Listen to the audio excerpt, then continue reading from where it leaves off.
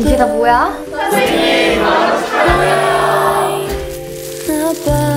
웨딩 플래너? 잠깐만.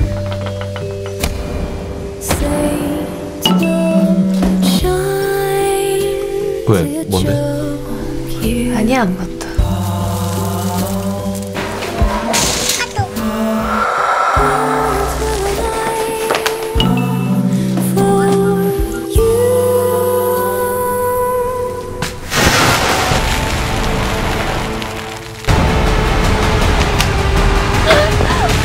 믿고 싶어? 나를?